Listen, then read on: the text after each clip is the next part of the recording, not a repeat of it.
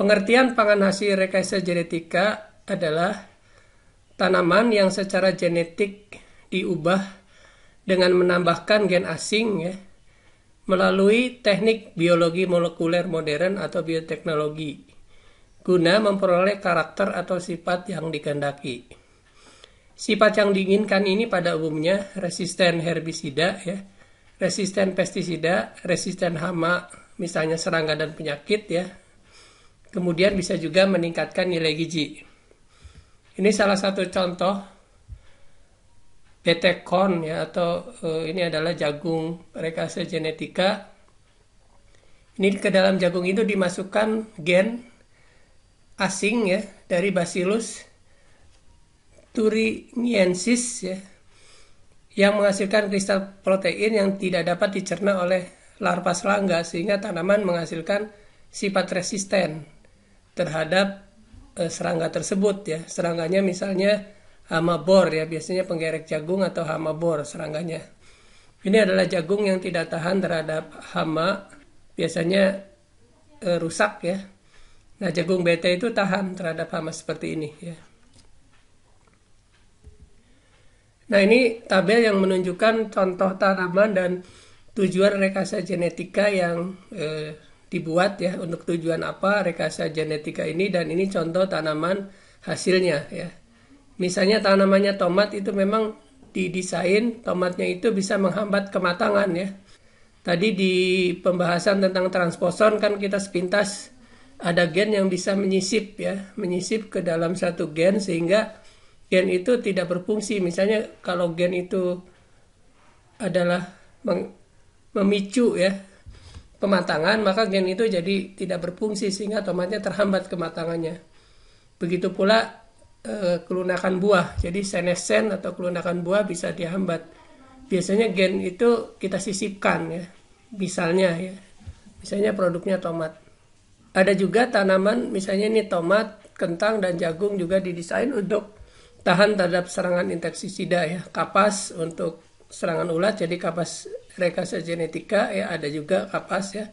Kemudian tahan terhadap serangan insektisida kentang misalnya dan e, kentang ini selain insekta juga virus ya. Jadi terhadap serangga dan virus. Kemudian tahan terhadap virus ini pepaya ya pepaya Hawaii ya. Dan juga squash squash itu mirip-mirip melon ya. Jadi seperti melon lah seperti itu ya yang tahan terhadap virus. Kemudian ada juga yang tahan terhadap inseksa dan herbisida ya misalnya jagung, padi, kapas dan e, kanola ya untuk minyak ya.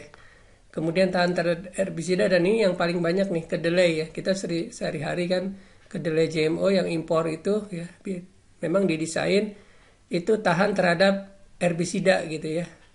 Kanola juga tahan terhadap herbisida, kapas, jagung ya, bit e, untuk membuat gula jadi disebutnya bit gula ya. Ada juga untuk perbaikan komposisi dan nilai gizi, misalnya canola. Tadi canola di samping tahan terhadap insekta dan herbisida juga ternyata ada sifat lain, misalnya menjadi tinggi asam lauratnya. Begitu pula kedelai ya. Selain tahan terhadap herbisida juga dia mengandung asam oleat yang tinggi ya. Canola juga mengandung pitase ya. Sehingga nanti kandungan pitatnya turun gitu. Nah, ada juga padi Nah ini menghasilkan apa yang disebut dengan uh, golden rice karena di dalam padi itu atau di dalam berasnya itu mengandung beta karoten yang tinggi itu. Jadi ini adalah tujuan atau sifat-sifat rekayasa genetika yang diinginkan ya dan eh, produk-produk ya atau tanaman yang dihasilkannya. Sekarang bagaimana cara menghasilkan produk rekayasa genetika itu? Jadi ini secara singkat dulu ada konsep dan praktek ya. Konsepnya adalah merubah karakter gen ya atau menambahkan gen, menambah karakter baru ke spesies target gitu ya. Tadi kan ada jagung misalnya yang tadinya tidak tahan terhadap hama menjadi tahan gitu karena kita menambahkan e, karakter baru pada tanaman tersebut. Caranya bagaimana? Prakteknya itu kita mengekstrak gen yang diinginkan ya dari satu spesies ya Misalnya tadi contoh jagung kita mengekstrak gen dari bakteri ya. dari bacillus ya, kemudian dimasukkan gen tersebut ke jagung gitu sehingga jagungnya itu bisa tahan terhadap serangan hama ya. Bagaimana sekarang proses umum rekayasa genetika atau proses umum menghasilkan pangan rekayasa genetika ya. Dan ini misalnya sel tanaman, bisa sel hewan, bisa sel mikroba di mana di dalamnya ada gen yang diincar yang kita inginkan atau gen target ya. Biasanya ini diekstrak dulu ya DNA-nya. Kemudian dipotong dengan enzim restriksi tadi ya dipotong misalnya ini yang biru ini adalah gen targetnya ya dipotong dengan enzim restriksi ya nah enzim ini kan de, uh, gen ini kan harus masuk ke dalam sel tanaman kan nah gen target ini kita pisahkan dimurnikan ya ada caranya ya dengan uh, memurnikan gen target ini ya untuk supaya peluangnya lebih tinggi peluang masuknya, bukan gen-gen yang lain. Jadi gen-gen yang lain bisa disingkirkan, kemudian kita ambil gen yang menjadi target ya, yang akan kita masukkan ke dalam sel tanaman. Ya. Dan memasukkannya nanti ada beberapa cara ya, kita akan singgung caranya ya untuk sel tanaman. Ada dengan menggunakan uh, vektor ya, nanti vektornya itu bakteri ya. Ada bakteri khusus untuk supaya dia menginspeksi tanaman ya sehingga nanti sel uh, gen targetnya terbawa ke situ. Jadi ke dalam bakteri itu kita masukkan plasmid ya yang mengandung DNA asing ini kemudian bakteri itu akan menginfeksi ya tanaman ya. Nanti tanamannya pada saat berkembang biak itu mengandung ya mengandung uh, gen yang ada di dalam bakteri tersebut karena nanti akan menyatu dengan uh, kromosom tanaman. Nah, seperti ini jadi ditransformasi ya. Nah, kemudian di kultur, jaringan ya. Dibuat kultur jaringan kan akan membelah diri sehingga nanti menyatu nih ke ke, ke dalam kromosom tanaman dan nanti tanamannya diharapkan menjadi tanaman transgenik ya. Ini adalah proses umum. Sekarang kita lihat lebih detail ya proses ini.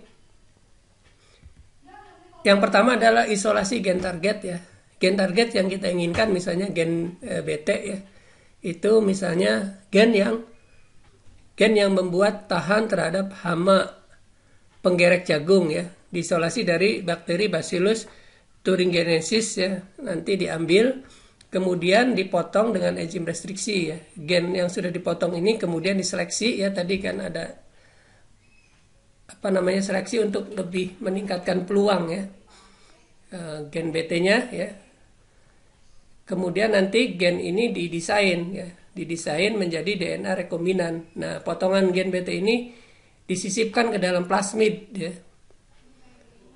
Sudah plasmid ini nanti plasmidnya sebagai vektor ya. Plasmid yang sudah mengandung DNA rekombinan ini dimasukkan kembali ke dalam eh, sel inang ya. Nanti tadi kan sel inang bakteri ini untuk tanaman ada yang khusus ya. Nah, secara skematis yang dijelaskan tadi dua poin tadi adalah sebagai berikut. Nah, bakterinya disebut agrobacterium ya, sedangkan plasmid yang khusus sebagai vektor tadi di dalam produksi tanaman hasil rekayasa genetika yang banyak digunakan itu disebut plasmid T1. Jadi bakterinya sebagai vehicle ya, vehicle itu di, eh, agrobacterium sedangkan plasmidnya itu plasmid T1 atau TA ya, T ini ya. Nah, plasmid ini diisolasi ya. Kemudian bisa dipotong sehingga menjadi plasmid kosong. Ini plasmid yang eh, belum ada ya DNA asingnya. Kemudian ada juga dari sel ya, sel tanaman, sel hewan, sel mikroba tadi ya yang mengandung gen yang diincar atau gen target atau gen yang kita inginkan ya. Dipotong dengan enzim restriksi juga yang sama enzim restriksinya itu harus sama. Jadi di sini misalnya enzim restriksi A ini enzim restriksi A. Kemudian diligasi atau didesain ya membentuk plasmid rekombinan. Jadi plasmid T1 ya dengan gen yang diinginkan sudah ada. Nah plasmid ini kemudian kita transfer ke ke tanaman ya pada proses berikutnya. Proses transfer gen ke tanaman target nanti ya. Agar sel DNA rekombinan e, gen BT itu dapat terintegrasi atau menyatu ya dengan inti sel tanaman maka diperlukan vektor yang masuk ya menginfeksi ya masuk ke dalam sel tanaman tersebut. Nah biasanya untuk tanaman vehicle atau vektor tersebut adalah agrobacterium ya tumefacien ya biasanya eh, bakteri ini yang sering digunakan sebagai kendaraan untuk memasukkan plasmid ya yang sudah didesain itu ya, didesain mengandung gen, misalnya gen beta ya. Selanjutnya nanti diekspresikan ya. Ekspresi pada tanaman transgenik itu gen yang sudah dimasukkan itu nanti ditransformasi. Nanti ada beberapa cara transformasi ke dalam tanaman target ya. Kemudian nanti di dalam tanaman itu gen yang menjadi target atau sifat menghasilkan sifat baru yang diinginkan itu berekspresi ya di dalam tanaman tersebut. Dan ekspresinya misalnya untuk kasus gen BT ini adalah tahan terhadap hama penggerek jagung misalnya. Secara skematis ya bisa dilihat pada gambar berikut untuk tahap berikutnya ya. Di sini sudah ada nih plasmid T1 yang sudah masuk ke dalam agrobacterium. Ini ini sebenarnya cara pertama untuk transformasi itu menggunakan bakteri ini. Nanti ada dua cara lagi ya tanpa bantuan bakteri ini juga bisa ya nanti di dua cara berikutnya kita jelaskan sepintas ya. Jadi plasmid T1 dengan gen baru ya di sini sudah ada di dalam bakteri ya agro, agrobacterium ini ya kemudian dengan sel tanaman ya harus masuk nih. Jadi memang bakteri nanti akan menginfeksi ta sel tanaman ini ya. Masuk ke dalam sel tanaman ya. Kemudian sel tanaman ini kita kultur ya. Eh, dengan kultur jaringan ya sehingga nanti gennya itu akan menyatu dengan inti sel tanaman ya dan akan berkembang biak ya membelah diri ya sehingga nanti menghasilkan tanaman transgenik. Ini tadi teknik lain yang pertama ya untuk transformasi ini disebut teknik gen gun ya. Gen gun teknik itu DNA tadi dilapisi partikel emas ya. Kemudian nanti e, ditembakkan ke dalam ke dalam sel tanaman ya ditembakkan nanti menyatu ya dengan sel tanaman ya. Menyatu kemudian nanti di sama lah di apa namanya di kultur jaringan ya. Kemudian nanti menjadi dalam transgenik ya. Berikutnya adalah dengan electroporation ya dengan menggunakan arus listrik ya. Misalnya di sini ada alatnya ya. Alat listrik nanti kita dengan tabung reaksi dimasukkan ke sini isinya adalah sel ya sel tanaman dan juga DNA ya. Seperti ini misalnya ya. Ada sel tanaman. Sel tanamannya kita buat mudah menerima eh, gen dari luar itu dibuat protoplas ya. Jadi dinding selnya dikikis oleh enzim ya. Enzim yang bisa mengikis dinding tanaman ini ya kemudian menjadi disebutnya protoplas. Jadi selnya itu tanpa dinding sel ya, protoplas sehingga nanti mudah masuk gitu. DNA mudah masuk kemudian nanti dipulihkan kembali ada e, media untuk memulihkannya ya.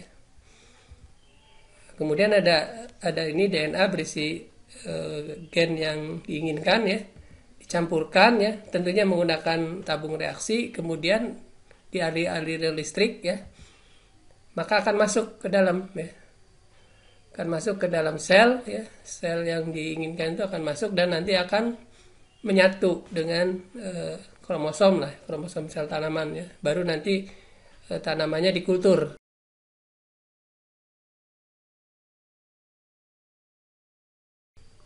Yang pertama yang paling banyak tentunya kedelai transgenik atau kedelai GMO lah ya.